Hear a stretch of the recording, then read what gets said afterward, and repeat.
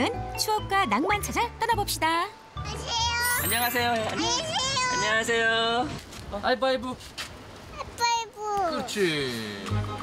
군산에서 첫 번째로 찾은 곳은 바로 과거 철로가 만들어지면서 형성된 마을 경암동 철길 마을입니다.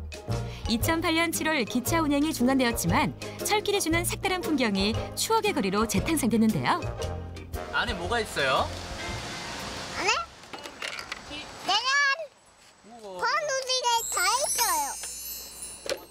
유리는 짜잔 치료 여행이네 치료. 질풍노도의 요하 사춘기 요리가 컨디션이 안 좋아 보이는데요. 그러다 보니 딸을 모시고 떠나는 여행이 시작됐습니다. 철길 마을에는 다양한 놀이 체험과 먹거리 체험 등을 즐길 수 있는데요.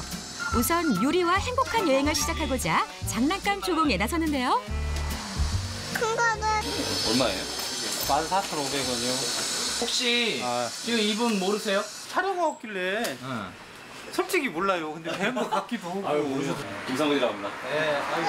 아, 사랑해 주세요. 네. 아우 더 열심히 해야겠네요. 저희가 준비한 게 있어요. 뭐요 뭐 또 뭐? 이거 한번 받아주세요. 어? 응 뭐? 아빠는 귀찮은이네. 그렇지 아빠 김성근 이름 써있네. 뭐, 보여주세요. 예. 응. KBS 41기 하다면서 김성근. 많이 뭘, 못 알아보는 것 같아서. 어디? 진상근이잖아. 김성근이지 아빠 김성근이지. 아, 아까도 보셨잖아요. 아까도 못 알아보시고. 음...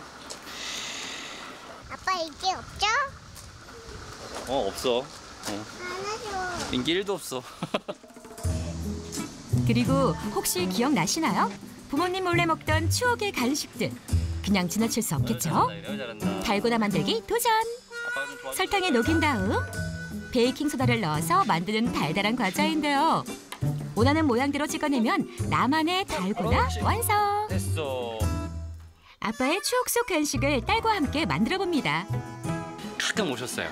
달고나 판 아저씨가. 창 쓰고 있는 양은 냄비였나? 그거를 들고 나가서 바꿔 먹었다가 혼쭐이 났던 기억이 나서 갑자기 슬퍼지네요.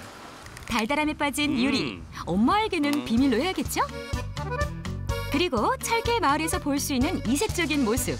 바로 마을 풍경에 걸맞는 옛날 교복을 입은 사람들인데요. 제대로 된 시간 여행을 위해 빠질 수 없겠죠? 철길 마을에는